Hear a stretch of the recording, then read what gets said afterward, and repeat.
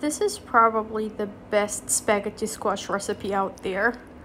And you really should give it a try. One spoon of oil and half a pound of ground beef. One, one onion, charred tomatoes, black pepper, some bouillon, sweet barbecue.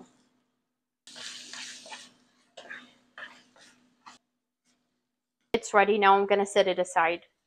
These are spaghetti squash. I put them in the air fryer until they, they became soft. When you separate the strands of the spaghetti squash, separate it from the side because they go like this. They go in circles. They don't go like this. Most videos move the fork this way, but that's not actually the right way. You need to do it from the side to the other side.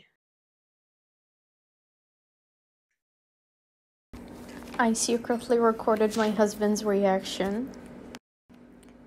This was his reaction when he took the first bite.